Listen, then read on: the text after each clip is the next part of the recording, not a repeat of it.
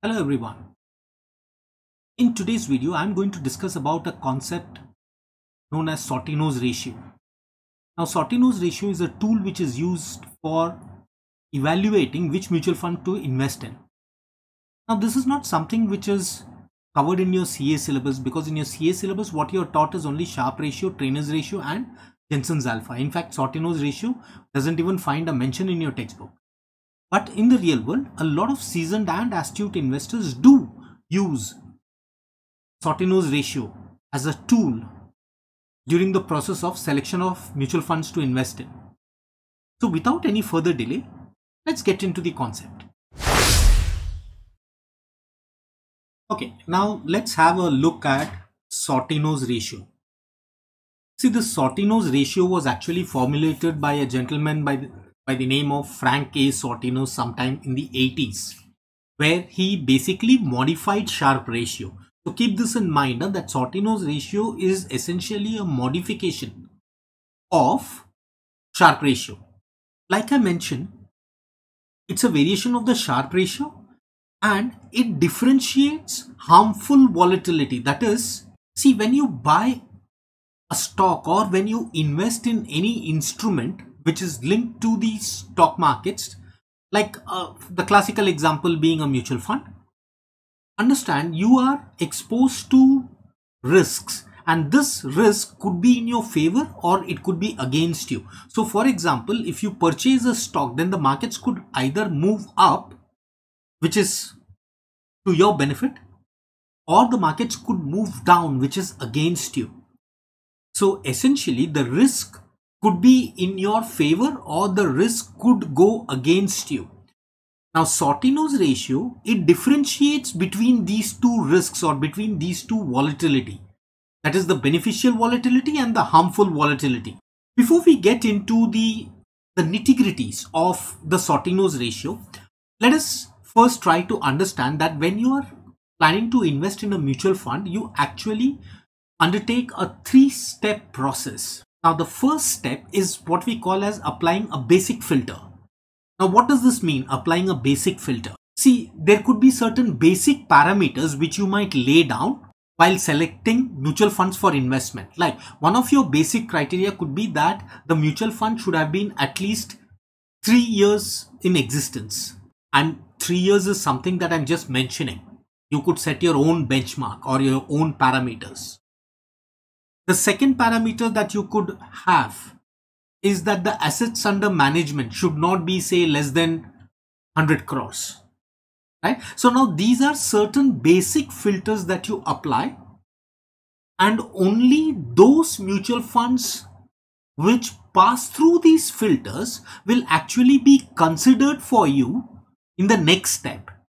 And what is the next step? The next step is going to be what we call as the performance evaluations. Now performance evaluation actually is again a three-step process. The first process is where you evaluate returns in absolute terms. So you could possibly, you know, study the returns that the mutual fund has generated over a period of say the last five years. Or you could study the compounded annual growth rate of the returns over a particular period. So the first performance evaluation is going to be of the returns. The second performance evaluation that you're going to do is going to be that of risk. Now this is where you would undertake the study of parameters like standard deviation and beta.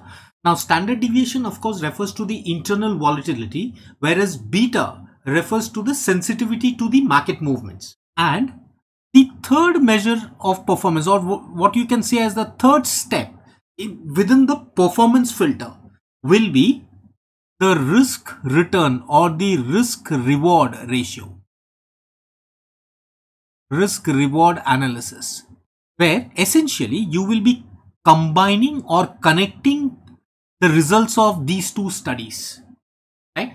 Now, it is here in this risk reward analysis which you perform that you use tools like Sharpe ratio, Treynor's,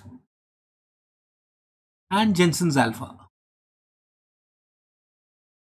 Okay. And this is exactly where Sortino would also fit in. Right? So it is essentially, Sortino's ratio is essentially a risk reward analysis tool. And in the process of selection, the third and final step would be where you undertake the study of the portfolio of the fund, where you see that what are the sectors in which it has invested in, what are the weightages of investment in various sectors and so on. So essentially these are the three broad steps or filters that you use while you are evaluating which mutual funds to invest in. We all know that mutual funds investments are subject to market risks and like I mentioned these risks could be of two types. They could be good risk that is risk which move in your favor and they could be bad risk, risks which move against you. To give you an example, if you have purchased stocks, that means you've got a long position in stock, then remember an upward move of the market is a good move for you. Whereas if you're short in stocks, then upward move is actually a bad risk for you. So this good risk and bad risk could change depending on whose perspective you are looking at it from. But the fact is that there are two types of risk, the good risk and the bad risk. To get a little more deeper into this, let us consider data of say 10 years return of a particular portfolio. So you have year 1 to 10 and you have the return over various years which the portfolio has generated. Now, if I were to plot these return on a piece of graph paper, the graph would look something like this. You see here, the first year it's 15, 2, then you have 10%, 3% and so on. Now, if you look at this chart, you will notice that the portfolio returns are pretty erratic. There are upward moves, there are downward moves, now if you look at this graph, you will notice that the upward moves are quite volatile and quite erratic as compared to downward moves. Now I'll just explain what I mean by this. Let us say the investor has a minimum acceptable return of 5%. So let me just draw a line at 5%. You see this? This is 5%. And if you notice that the portfolio has actually generated quite a bit of returns above his minimum acceptable return. See this 15, 10, 15. But you look at the spikes, these are quite far away from this minimum acceptable return, reflecting volatility. Whereas if you look at the downside, you notice that this is just a small movement from the minimum acceptable risk. Again, this is relatively a small movement as compared to a movement of this magnitude, right? Similarly, you'll find that this movement is small as compared to the magnitude of this movement. So you will notice that the moves in favor of the investors are quite volatile, whereas the moves against him are actually not as volatile as the upward moves. Now, when an investor is evaluating his return vis-a-vis -vis his risk using Sharpe ratio, he considers both the moves, upward and the downward. But an astute investor or a seasoned investor is more worried about the downside move rather than the upside move. See, as investors, we are more often than not driven by greed. And we have the capability to absorb any amount of profits. But the more important question that we need to ask ourselves as an investor is what is the amount of loss that we can absorb? What is the downside that we are looking at? So a shrewd and an astute investor is more concerned about the downside move as against the upside move. So when he is comparing the risk reward relationship, he would want to compare it against the downside move. Now this is exactly where Sortino's ratios ratio comes in. Now let's just look at Sharpe ratio. See, Sharpe ratio essentially measures return of portfolio minus risk-free return. So what essentially Sharpe ratio measures is the excess return above the minimum acceptable return. You see this in this graph.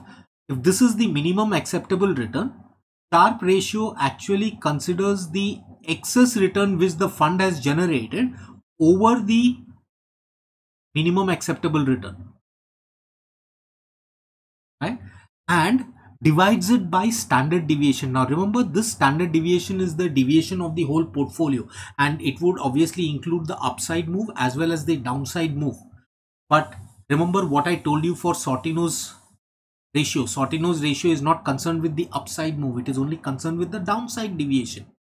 Now the question that might be turning around in your mind is how do you calculate only the downside deviation well i'll show you that let's have a look at that now I've taken the same data which I had shown you in the PPT earlier. So we have taken the data of returns for 10 years and this is my return on portfolio and I've taken the risk-free return or the minimum acceptable return of the investor at 5%. So now to calculate Sortino's ratio, remember Sortino's ratio is given by return of portfolio minus risk-free return upon downside deviation. So first let us calculate the numerator which is the return of portfolio minus the risk-free return which is 15 minus 5 10 and 2 minus 5 this is negative 3 5 negative 2 negative 4 10 negative 3 9 negative 4 and 14 now understand in Sortino's ratio, we are only looking at downward deviation. We are not looking at the positive deviation. So essentially, we are not concerned with the positive numbers out here.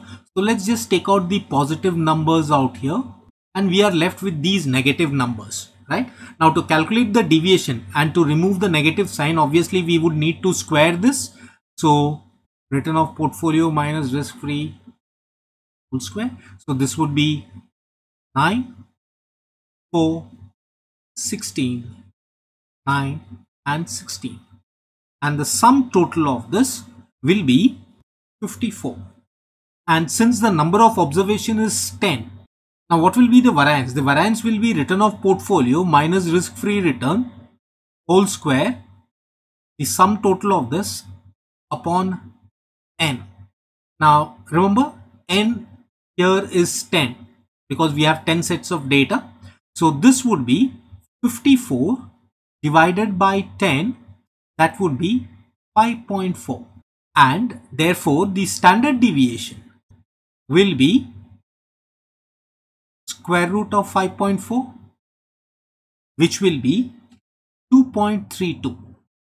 So now actually what we have done is we have calculated the standard deviation of the downward move or the downward deviation, right? So if we were to calculate the Sortino's ratio for the 10th year, how would we do it?